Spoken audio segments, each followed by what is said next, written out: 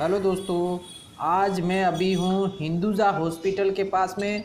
ये हिंदुजा हॉस्पिटल के सामने जो बिल्डिंग दिखाई दे रही है कि हिंदुजा हॉस्पिटल की बिल्डिंग है और ये माहिम और माटुंगा स्टेशन से नज़दीक पड़ता है। और इस बिल्डिंग के बीच में देखिए यहाँ पर एक आ, सड़क के ऊपर से रास्ता बना है। ये पास में ही बनी हिंदुजा हॉस्पिटल की ओपीडी बिल्डिंग तक जाता है ये रास्ता। ऐसे देखो मैंने दोबारा से दिखा रहा हूँ मैं ये सामने दिख रहा है। ये रास्ता इस बिल्डिंग से उस बिल्डिंग में जाने के लिए दोनों बीच में सड़क है और ऊपर से ये रास्ता है। ये रास्ता इधर इनका हॉस्पिटल का ही बिल्डिंग बना हुआ है। और सामने से मैं पास से आपको दिखाता हूँ, ये देखो बिल्डिंग पूरा अच्छा बहुत बड़ा बिल्डिंग है। और इस बिल्डिंग के पीछे की साइड में समुंदर है, ये सामने गेट दिखाई दे रहा है। और ये गेट के बाजू से जो दिख रहा है ना, ये पीछे समुंदर खाड़ी है, महीम बीच है।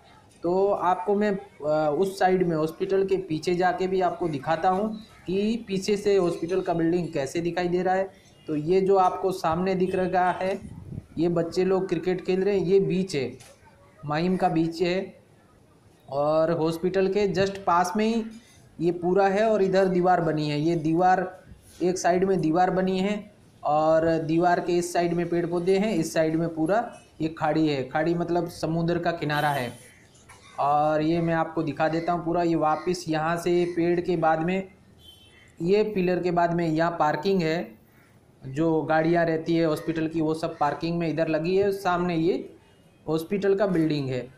ये बिल्डिंग है और यहाँ पीछे की तरफ़ अगर ओल्ड हॉस्पिटल सड़क से सीधा पीछे की तरफ़ रास्ता आ रहा है, ये यहाँ सीढ़ियाँ बनी हुई है और नीचे की तरफ़ आएँगे तो समुंदर है।